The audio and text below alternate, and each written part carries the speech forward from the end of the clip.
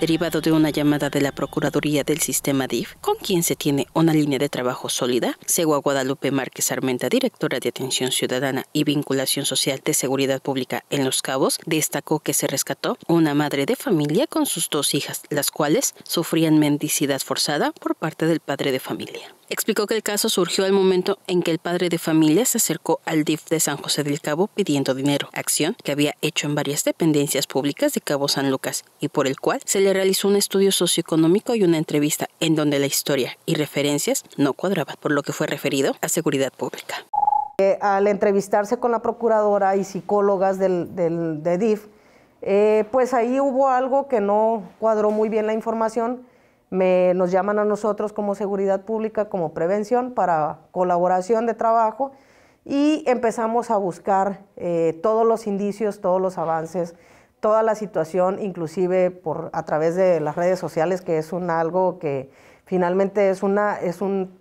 es un trabajo y es una herramienta que si la sabemos utilizar, de verdad es muy buena. ¿no? A través del C2 empezamos a trabajar también con Plataforma México, buscando soluciones y buscando esa intuición que traíamos.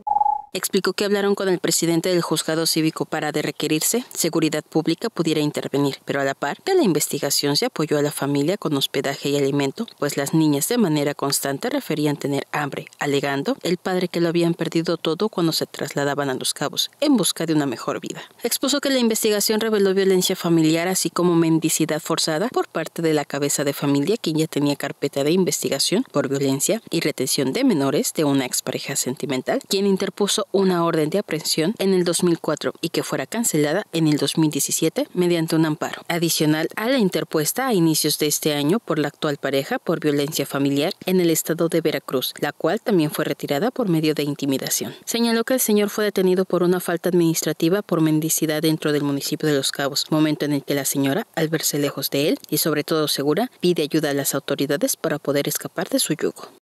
Decidimos apoyarla eh, como DIF, como juzgados cívicos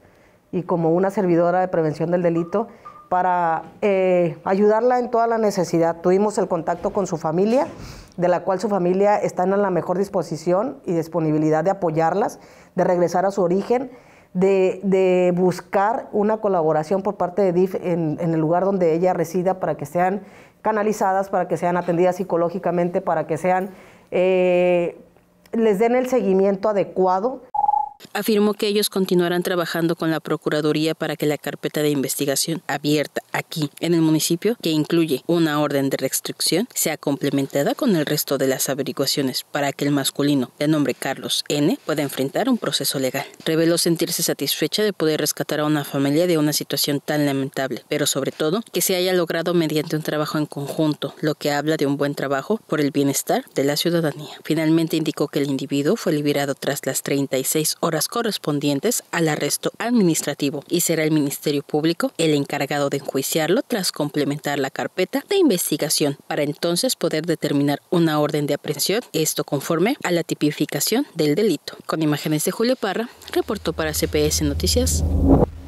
Yamna Gómez.